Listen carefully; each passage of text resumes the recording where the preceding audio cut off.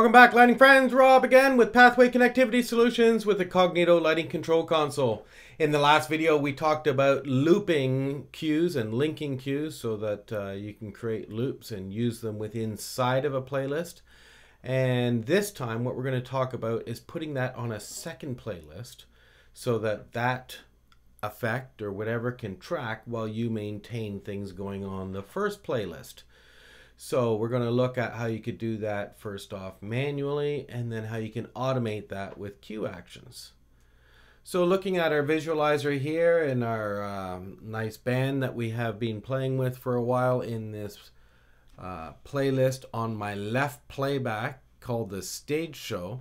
We are familiar now with uh, sitting in this cue called She Sings and then I'm going to press go and go to the bass player, which takes her light down and his light up and turns the cyc to red.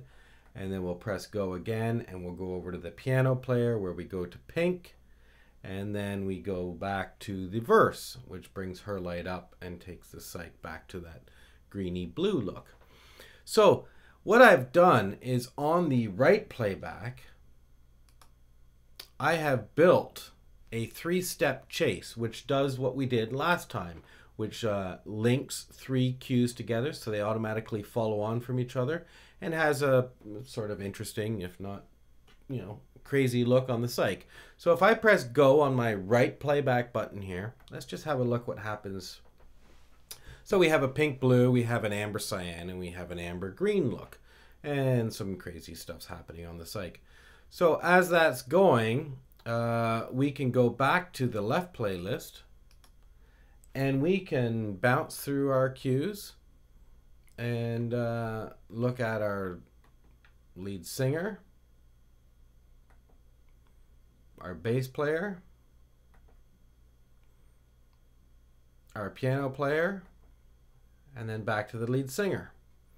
And the whole time, the right playback is still doing its chase in the background. So in a show situation, you may press the go button here, start your effect over here, and then carry on just moving forward at what time you want over here.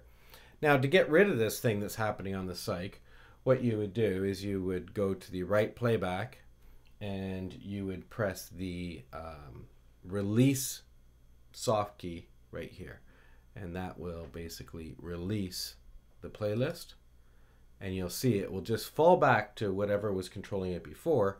In this case, it's actually the left playback and it's this verse cue that keeps the blue on it. Now, that is uh, not always the easiest thing to do. So what you may do is just stay looking in the left playback. And when that will start the right playback, you do not need to look at the right playback because we know that the right playback has this cyc chase on it. If we look up here in the uh, status bar, we see there is a cyc chase. So we know without even pressing this button to look at it, we can stay looking at our left playlist, which is our main playlist. And we know that the cyc is here. We can press it when we want. And to get rid of it, there is no hard button on the desk like that left facing release uh, arrow, this guy here. But what you can do is you can hold down shift and hit the pause back button on the right playlist and the cue will just fade away and it will go back to the blue look which is coming from the stage show verse cue. So if you wanted to automate this so that you don't even think about it, because every single night when you go into the bass player, because we're doing these little bounce off solos, you want it to do this crazy look on the cyc. And then when you get back to the verse, you want it to stop. So how do we do that? What we do is we add an action to the cue, which will press the button for us. So let's have a look at the um, bass cue. Let's just back up into the bass cue. You don't really need to be here, but I just want to back up into it. We highlight it in red, so we're editing its properties here. We know that. So what we want to do is press the edit button. And we are now looking at the basic properties. If we page down, we get more advanced properties. We looked at these ones at the follow page last week. These are the position and color timing properties. These are the shape timing properties. This is the one we want. It's called action. So we're going to add an action type. Now looking at the yellow wheel, currently there is no action on this cue. So I'm going to roll the yellow wheel and I see the first action type I get to is a playlist. And on the playlist, I can do a go, which is exactly what I'd like to do. And then I can choose the playlist. And it's already got the Cyc Chase there, but I could roll through all the different playlists in this show. So let's leave it on Cyc Chase. So the bass cue is now going to do a playlist go on Cyc Chase. When we're happy with that, we'll press the done button. Now you see there's a little green gear icon in the bass red cue.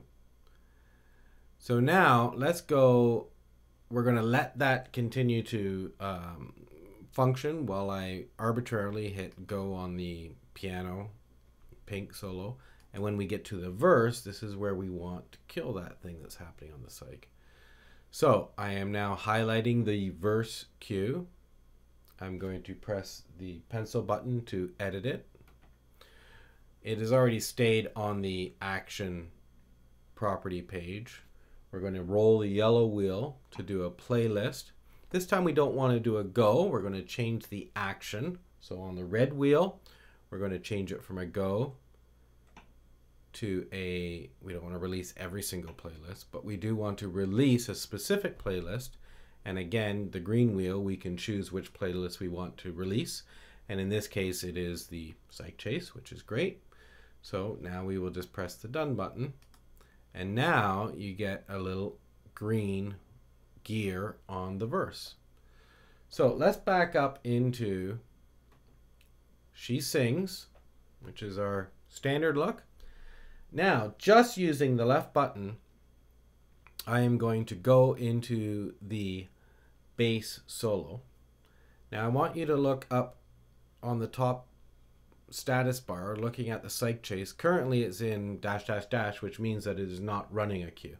But when I press go on the bass, you will now see that it goes into its three-step chase and it will carry on uninterrupted. And whenever the bass player is done, he's going to throw to the piano player. So at that point, I would press the go button. And this chase goes on in the background without any further hindrance. And then when we're ready to go back to the lead singer singing, we press go, and that's when that release will happen. Now, you'll see that it actually happened in about a second or so. Now that's sort of hidden. I going to show you. If you wanted a slightly more subtle look when you come out, what we can do is change the release time of the playlist. Now each cue has properties for fade time, but when you're releasing the playlist, where you get the properties for that is actually editing the properties of the playlist itself. So how do you do that, you ask? from the play task down here, what we're going to do is we're going to press the more button. And now we see a list of all of the playlists in our show. We want to edit these. So I press the pencil button. And the one I'm going to edit is the Cyc Chase. And you will see these are the properties of the playlist itself. Right now, the yellow wheel has the release time at one second. So if I roll this to something much more subtle, like 10, we're going to watch what happens this time. There's a couple other things while we're in here. You might as well just look for it. Um, lock for editing. If if you want to protect the cue list from accidental deletion or um, timing changes or moves, you can turn this on. Uh, reset to start on release is a great one. If you always want the chase, this three-step chase we do to start at the top, the first cue, um, when you have reset to start on release, what happens is every time the cue list is released, that little green next cue pointer goes up to the top of the list.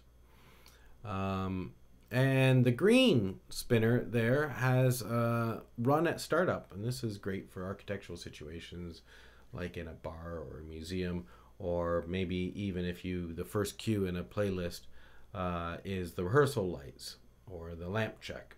You can roll this green wheel to yes, and every time you start up the desk, this playlist would actually start. Now, in this case, it's probably not a great idea to start a cyc chase every time you start the desk. So we're going to leave that as is. I'm going to press the done button now. The only change that's going to happen is this red 10 second on the release time. And now what I want to do is I want to run this sequence again. So I will triple click on She Sings I'm going to go into my bass solo and there we see our chase doing its little thing. I'm going to go over to the piano player doing its thing. Now I'm going to go back to the verse. We're going to watch a 10 second release to go to the blue.